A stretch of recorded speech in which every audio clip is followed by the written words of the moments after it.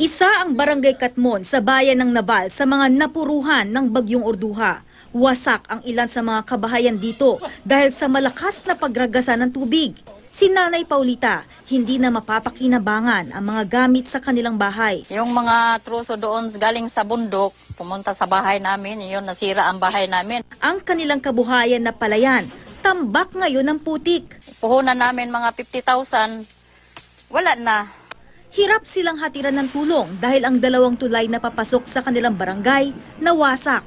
Kaya kinailangan pa nating ibiyahe ng halos isang oras sa bangka ang ating dalang relief goods para mabigyan sila ng tulong. Hindi na kami makapunta doon sa munisipyo yung mga pakukunan namin ng pagkain. Dito naman sa bayan ng Almeria, bukod sa pagguho ng lupa na kumitil ng ilang buhay, marami rin ang nasirang kabahayan. Nung bagyo, bumaha dahil may buhawi. Kanya yung tubig, ayun, dito lahat pumunta. Si Mang Restituto, wala na rin naisalba sa kanilang mga gamit. Yung tubig na galing doon sa palayan, galing sa bukid, dito dumaan. Kaya lumalim yung lupa, gumuho yung bahay.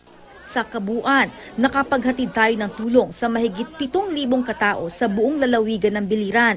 Sa kasalukuyan, patungo na rin po ang GMA Kapuso Foundation team sa lalawigan ng Davao at Butuan upang paghandaan ang pagpasok ng Bagyong Binta.